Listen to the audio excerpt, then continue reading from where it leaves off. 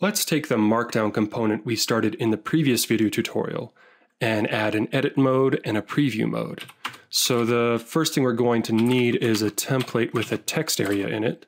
Uh, you know, we need somewhere to actually edit the Markdown. So if I drop in this template and hit refresh, you'll see nothing is showing up. And that's because if we look at it, you'll see we have our Markdown element with nothing inside of it. That means that in this linking function, at this point, this element uh, has already been rendered from this template. So it hits this point and we already have the text area.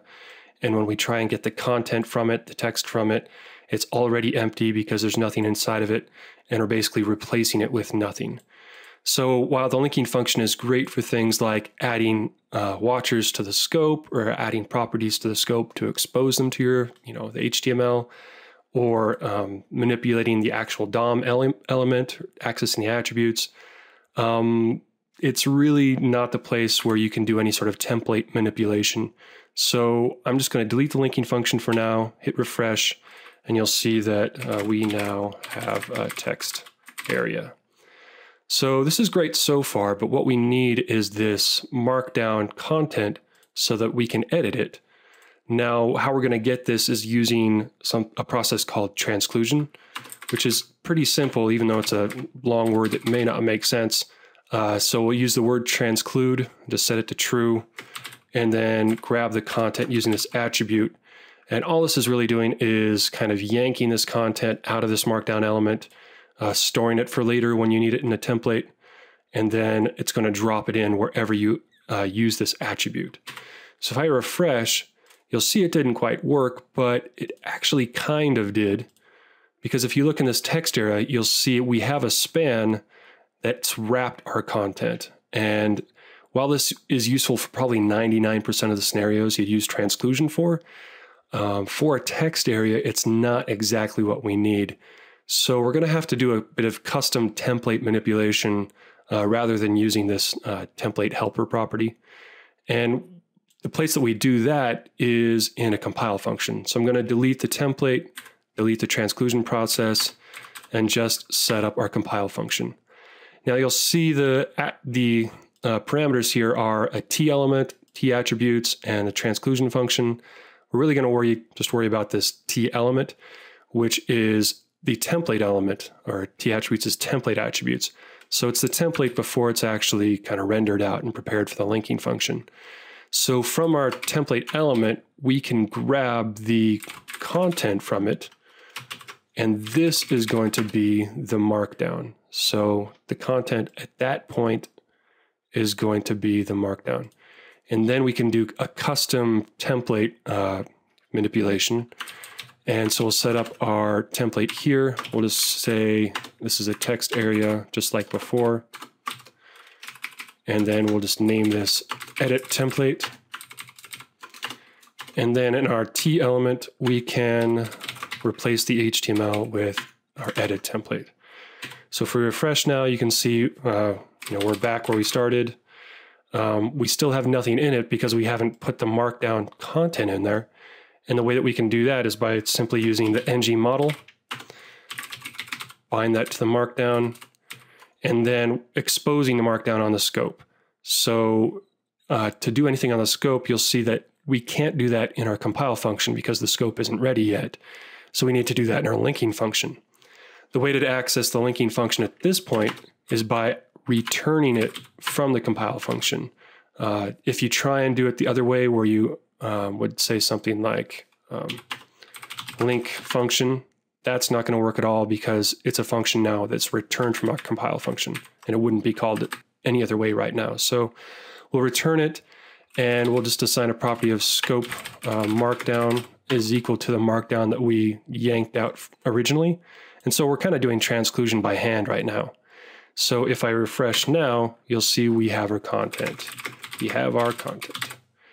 So, so far so good. Um, the next step is to hide this, hide the edit mode when I double click on it.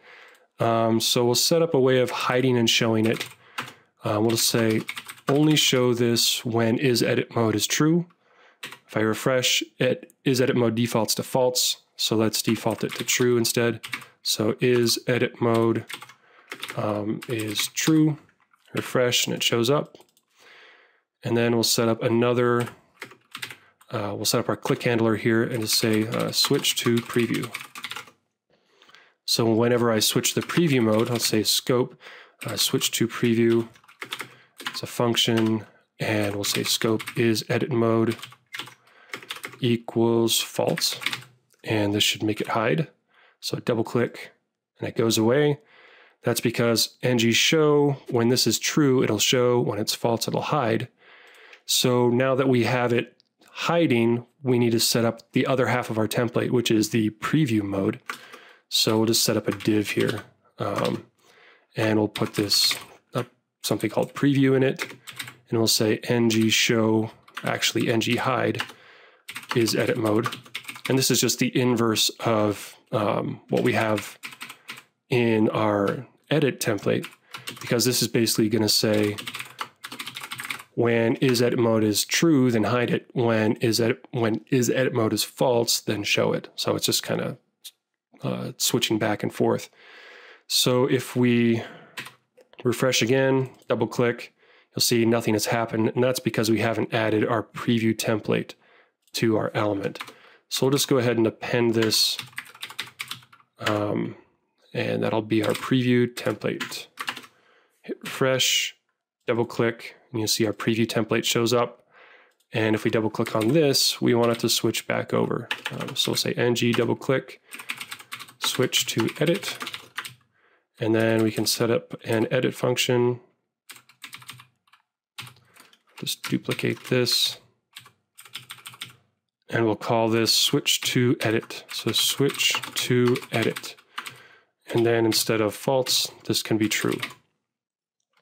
So if I refresh and I double click and double click, then double click, you see we're toggling back and forth between our edit mode and preview mode, edit mode and preview mode. So really the last thing to do here is that when we switch to the preview mode, we'll want to render out this content using that uh, showdown converter. So we'll say make HTML, uh, scope markdown, and that'll be our rendered uh, HTML from the markdown. And then what we need to do is replace the preview template element with our make HTML. Now, the way I prefer to do this, um, you can do it a, a few ways, but what I'm going to do is I'm going to take the preview template I'm going to render it out as an element first using this uh, Angular element method. So I'll pass in the preview template, and from here I can get a reference to our preview element.